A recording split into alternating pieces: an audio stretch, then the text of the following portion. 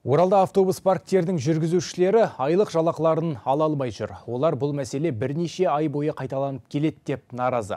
Ал қалалық әкімдік мамандары мұны бюджет қаражатының кеш түсуімен байланыстырады. Толығырақ алдағы сюжетте.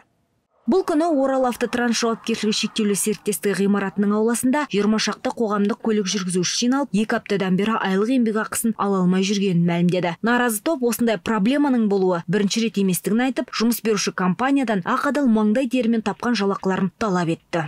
Алдыңғы айда так почти бір айдай задержка болды а мына айда тоже алтысында береміз деді онында береміз деді енді бүгін айтып тұр ертең береміз дейді пятница береміз дейді күнде келіп осылай еститініміз ертең. Орал автотранс жауапкершілігі шектеулі серіктестігі қаладағы 30 және 20 нөмірлі қоғамдық көліктерді басқарушы компания. Желіде шамамен 30 көлік қызмет етеді. Автобус жүргізушілері ай сайын қайталанатын осы жағдайдан несиелерін уақытылы төлей алмай жатырғанын айтады. Оған қоса отбасын асырап отырған ер азаматтар күнкөріс өткен сайын қиындап қарызға белшеден батқандарын жеткізді. Сегіз жылдай болған болар бірақ енді оның алдында задержкалар болды.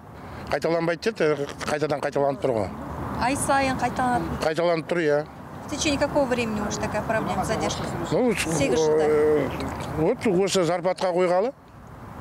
Осы сентябрь августтен бастап неге қойды ғой зарплатаға қойды содан бері уже задержка задержка? Мәселенің мән жайын білмек ниетте мекемеге кіруді жөн санадық. Алайда серіктестік қызметкерлері түсірілім тобын ғимаратқа аттап бастырмады. Айтуларынша іште басшылықтан бір адам жоқ. Ал әкімдік өкілдеріне бұл мәселе таныс. Ай сайын кәсіпорынға төленетін қолдау қаражат кешігіп түсетіндіктен жалақыда кідіріс бар. Осы айдікі бүгін ғана жіберілді ақшасы. Бүгін отырып бүгін ақшасын жібердік. Бұл кісілерге түс қайта біз мен өзіммен үште қол қойып жібердім.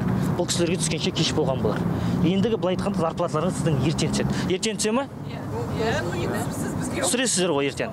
Мына айтып отыр өздері. Ертең сіздерге полностью күнде ертең емес мен өзім айтып отырмын мен сізді бірінші рет көріп отырмын. Мен бұл жерге бір тоқтаңыз мен бірінші рет келіп отырмын бұл жерге дұрыс па? Айтып отырмық ертең бізден ақша бөлігін өтіреді. Ертеңнен бастап ақшаларын аударасыз дұрыс па? Айта кеткен жөн автобус паркі өткен жылдың күзінен бастап қызметкерлерге жалақыны ай сайын төлеу жүйесіне көшкен. Бұл жолақыны электрондық қабылдаумен байланысты. Ал серіктестікте жүз жиырма қызметкер болса оның елу пайызы көлік жүргізушілері екен. Айнұр төлеуғалиқызы айболат жағыпар александр грабарев тдк қыркүйек телеарнасы.